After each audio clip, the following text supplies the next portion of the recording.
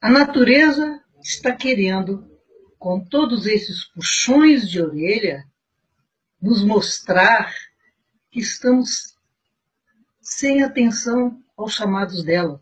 E quanto menos atenção a gente dá aos chamados da natureza, que tem enviado tornados, terremotos, guerras de toda sorte, irmãos brigando contra irmãos, todo tipo de preconceito, tudo isso é sofrimento, é lapidação, e o povo procurar a solução e cair a ficha de que a cultura que nós desenvolvemos, artificial, adotada até os dias de hoje, não é a cultura natural do animal racional. É uma cultura animal. Tudo que é artificial é animal, animado para o mal. Se assim não fosse, o mundo, que é de veteranas eras e veteranos séculos, com essa cultura adotada até hoje, já estaríamos equilibradíssimos. Não haveria mais doença, que as doenças são cobranças da natureza. Que os desequilíbrios morais são cobranças da natureza. É um alerta da mãe natureza, um alerta de amor, mostrando que estamos fora do caminho, que não estamos no caminho dos acertos. Então, essa minha fala para todos vocês, meus irmãos, é para chamar atenção para que escutem os estudantes de cultura racional estão falando desde 1970. Nós estamos falando desde 1970, alertando a humanidade, principalmente os brasileiros, onde a cultura racional nasceu, e a missão de todo brasileiro é estudar cultura racional e levar a cultura racional para os quatro cantos do mundo. Enquanto o brasileiro não se conscientizar de que deva cumprir sua missão, porque nós devemos isso à natureza que trouxe esse conhecimento aqui para o Brasil, nada aqui vai dar certo. Porque tudo o que já existiu e existe até hoje foi preciso e foi necessário para tirar a nossa rudez, e foi preciso muita surra da natureza, muito sofrimento. Todos os sistemas que nós já conhecemos, sejam eles filosóficos, religiosos, políticos, tudo foi certo, absolutamente certo, para tirar a nossa rudez. Mas agora está na fase do polimento.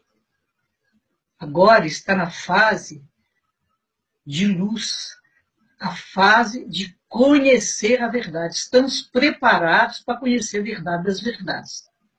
Porque a verdade das verdades a humanidade nunca conheceu.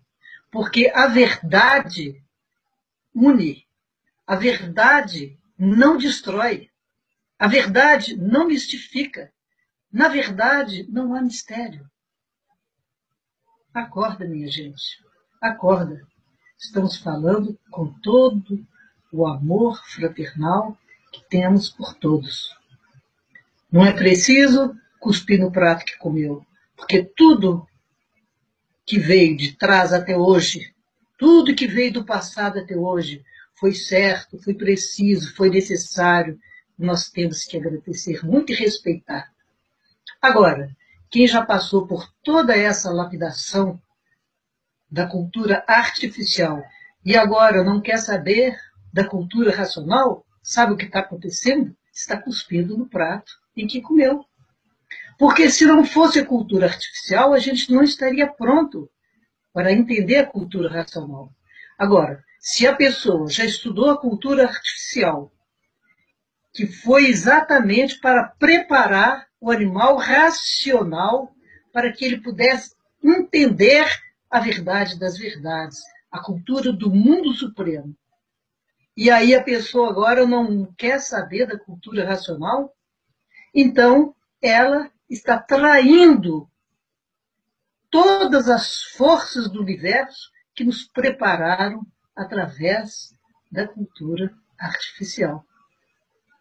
É a mesma coisa que uma família, pai e mãe, colocam um filho para aprender a ler e escrever, faz o curso primário, e depois, quando chega na época dele escolher uma profissão, e fazer um curso superior ou um curso técnico, ele não quer estudar e não quer saber de mais nada.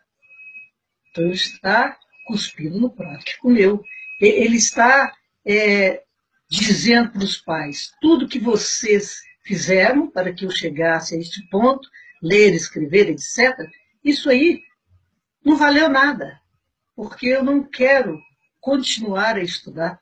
Então, esse filho está sendo ingrato, não é verdade? E assim está sendo a humanidade. A gente gostaria que quem está assistindo esta conferência refletisse sobre isso, muito seriamente. A cultura racional é em favor de tudo e de todos. É a continuação de tudo e de todos. E por isso que ela une, porque ela respeita o passado, o presente e o futuro. Porque é a cultura universal, a cultura da união. E a união só é feita através do desenvolvimento do raciocínio. Porque aqui, no mundo inferior, nesse plano inferior, tudo é diferente. E onde tudo é diferente, onde todos pensam diferente, não há possibilidade de união. É preciso ter um conhecimento único, que seja o postulado da verdade das verdades, para que todos concordem uns com os outros. Quando chega uma cultura que tem base e tem lógica inegáveis, todos concordam com todos. Agora, essa cultura artificial do chão, que nós, que fomos os responsáveis por ela, por termos virado a costa para a natureza, essa cultura divide. Porque cada um quer ser melhor, cada um quer ser mais bonito, mais cheiroso, mais inteligente, mais tudo. E onde um quer ser melhor do que o outro, assim é a cultura artificial, né? não há possibilidade de união. A união só com a cultura racional, onde todos terão o mesmo saber, a mesma sabedoria, e sabedoria completa da verdade, das verdades. Agradecida a todos, paz, saúde, fraternidade, muito amor do coração de todos. Até a próxima.